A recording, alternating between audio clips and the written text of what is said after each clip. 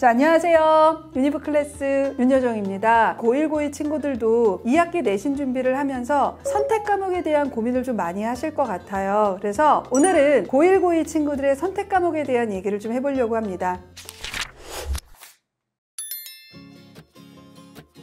자, 일단 선택 과목은 일반 선택 과목과 진로 선택 과목으로 일단 나뉘어져 있습니다. 일반 선택 과목은 대부분의 고등학교에서 선택하는 과목이다 라고 봐두시면 될 것 같고요. 기본적으로 이해해야 하는 내용을 중점적으로 구성된 과목이다. 이렇게 그냥 편하게 생각하시면 됩니다. 수학 교과를 예를 들면 수one, 수two, 미적, 확통 같은 과목들을 저희가 보통 일반 선택이라고 부르면 됩니다. 요게 바로 9등급, 등급제로 나오는 과목이다. 선택 과목이다. 이렇게 이해하시면 됩니다. 있습니다. 마찬가지로 우리 진로 선택 과목의 수학 교과목을 예를 들면 우리가 경제 수학, 실용 수학, 그다음에 인공지능 수학, 그다음에 기하, 수학까지 탐구 같은 교과목들을 진로 선택 과목이라고 부릅니다. 진로 선택 과목은 진로와 적성에 따라서 선택을 해야 되기 때문에 내 계열과 맞춰서 어떻게 선택할 것인가에 대한 고민을 본격적으로 하는 과목이 여기에 있다. 이렇게 보시면 됩니다.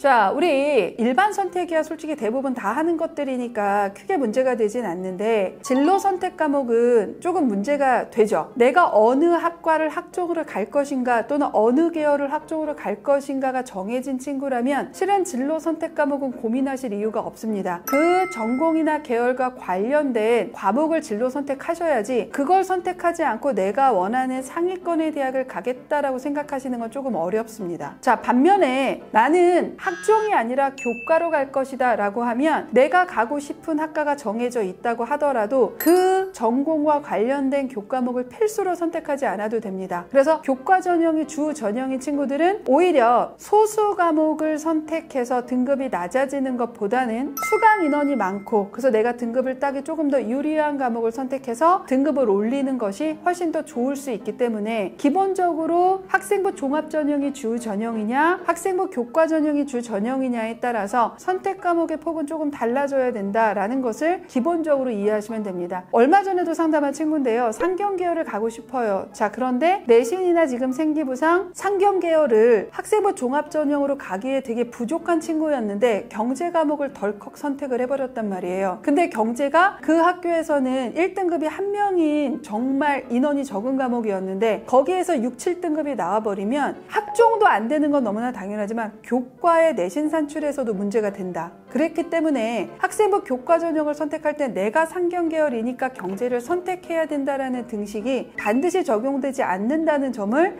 고려하시고 선택하셔야 합니다. 이것이 가장 포인트이고 그 기준에 따라서 선택하는 과목들의 기준도 있다라는 것을 말씀을 드렸습니다.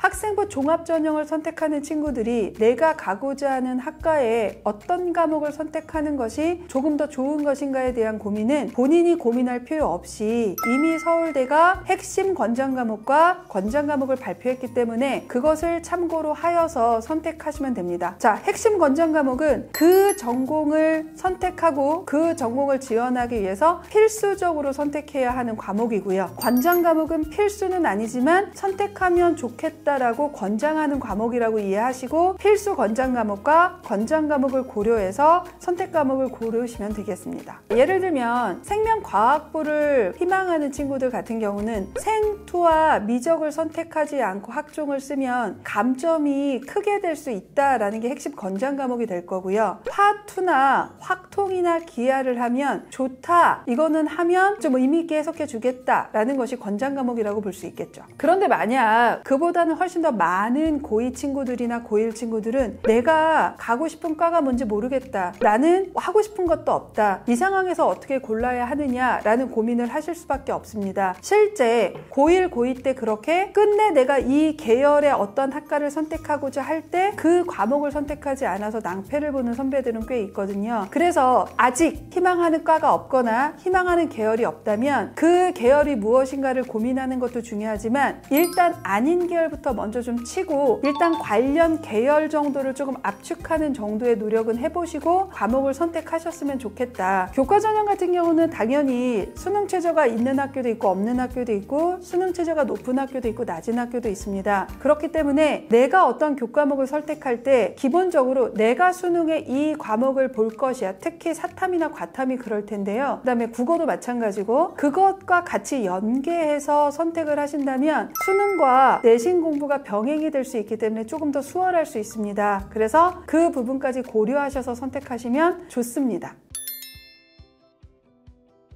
예전에는 일반고와 특목 자사고는 생기부의 질적 수준이 되게 명확했고 그다음에 배우는 교과목의 차이도 워낙 컸었는데 요즘에 보통 생기부가 좀 상향 평준화되고 있다라는 얘기를 좀 많이 들어보셨듯이 일반고 친구들도 전문 교과라고 하는 예를 들면 이과가 이게 조금 더 심한 편인데 고급 수학, 심화 수학, 고급 생명과학, 고급 화학, 고급 물리학 아니면 생명과학 실험 또는 화학 실험과 같은 전문 교과를 공동 교육 과정을 통해서 이수하고 생기부를 서술하는 일반고들이 예전에 비해서 정말 많이 늘어나고 있습니다. 우리 2024학년도부터는 자소서가 없습니다. 그리고 폐지되거나 제한이 되는 요소들도 정말 많아서 2024부터 실질적으로 의미 있게 해석되는 건 자율활동, 진로활동, 동아리활동, 그 다음에 세특 이렇게 네 가지가 큰 요소로 남아있게 되었는데 자소서로 서술이 되지 않는 상황이라면 이 세특이나 이런 부분에서 자수를 좀 더 확보하면서 깊이 있는 서술을 할 수 있는 이러한 공동교육 과 정을 이용하는 전문 교과에 대한 선택도 고민을 좀 해보실 필요성이 있습니다. 그래서 이 영상을 보시는 1, 2학년 어머님들은 기본적으로 우리 주변에서 하는 공동 클러스터라던가 공동 교육 과정이 무엇이 있는가 이런 것들을 좀 교육청이라던가 학교에 좀 문의를 해보시는 게 좋고요. 그런 것이 조금 애매하시다고 하면 그러한 공동 교육 과정을 온라인으로 할 수 있는 교실 온다시라고 하는 사이트도 있으니 여기에 들어가셔서 이수를 하시는 것도 괜찮은 방법입니다. 그래서 단순히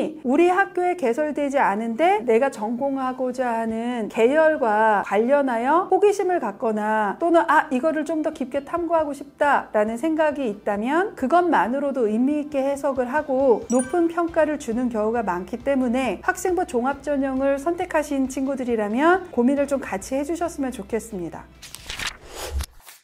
자, 오늘은 선택 과목을 좀 어떻게 할 것인가에 대한 고민을 해봤습니다. 이 선택 과목을 단순히 학교에서 주어진 것 안에서만 선택을 한다면 학생부 종합전형에서 이 아이는 자기주도성 또는 적극성적인 측면에서 그렇게 좋은 평가를 받지 않으니 우리 아이가 선택할 수 있는 오프라인이나 온라인에 클러스터나 공동교육과정이나 이런 것들도 조금 더 적극적으로 고민을 해보시면서 선택할 수 있는 과목이 있는지 정보 수집하는 것도 필요하고요. 그 다음에 종합이냐 교과이냐에 따라서 선택할 수 있는 교과 과목의 기준 자체가 달라지기 때문에 그 기준을 가지고 해주셔야 내 아이가 동일한 노력으로도 조금 더 효과적인 결과가 나올 수 있다는 거 염두에 두시고 이거 그냥 선택하라고 하니까 대충 이렇게 선택하고 넘어가는 부모님들이나 친구들 진짜 많거든요. 이러지 않으셨으면 좋겠습니다. 다음에는 더 좋은 영상을 가지고 찾아오도록 하겠습니다. 구독과 좋아요 부탁드리고요. 저는 유니브 클래스 윤여정이었습니다. 감사합니다.